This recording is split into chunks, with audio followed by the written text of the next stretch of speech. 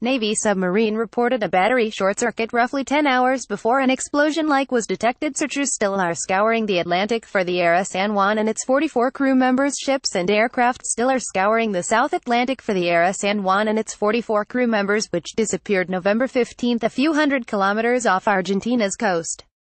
The Argentine Navy had previously said the vessel's captain reported a short circuit in the vessel's battery system shortly before the last known contact. On Tuesday, the Navy released new details, including the times and contents of the vessel's communications with a command base. The new timeline, according to Argentine Navy spokesman Enrique Balbi November 15, 12.30 a.m. The sub's captain calls his land-based commander by satellite phone, saying that seawater has entered the vessel's snorkel, a tube that reaches the surface to refresh the vessel's air and recharge the batteries. He says the water caused a short circuit in the battery system in the vessel's bow and the beginnings of a fire, or smoke. The smoke was put out and the short-circuited system was isolated. The captain indicates that the battery and diesel-powered sub would continue traveling with its stern batteries, 6 a.m. The captain types the same message and relays it to base electronically, as is protocol following a phone conversation. 730 a.m.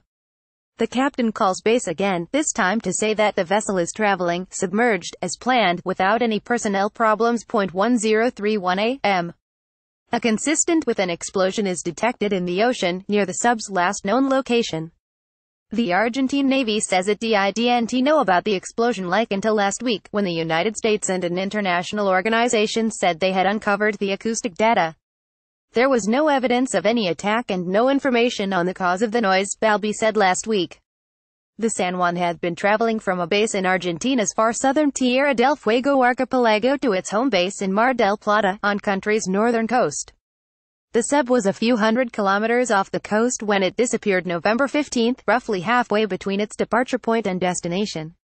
Crews from a number of nations are searching by air and sea for the San Juan in an area of roughly 40,000 square kilometers, Balbi said Tuesday.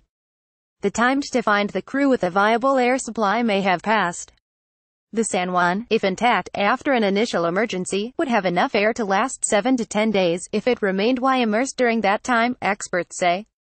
If the submarine surfaced or raised its snorkel to refresh its air, the crew could have bought more time. The 10-day mark was reached Saturday.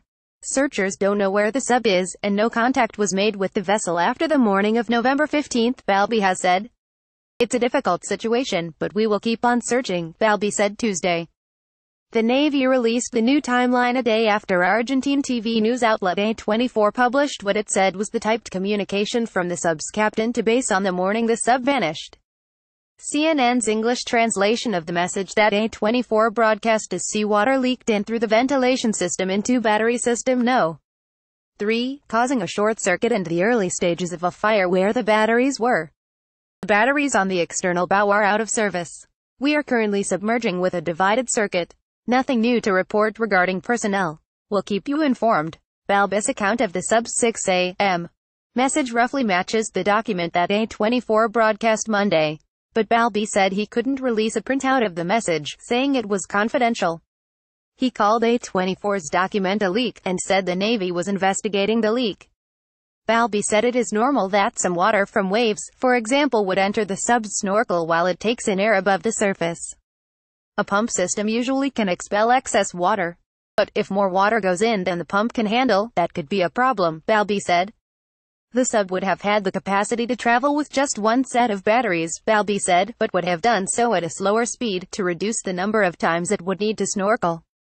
CNN's Flora Charner contributed to this report.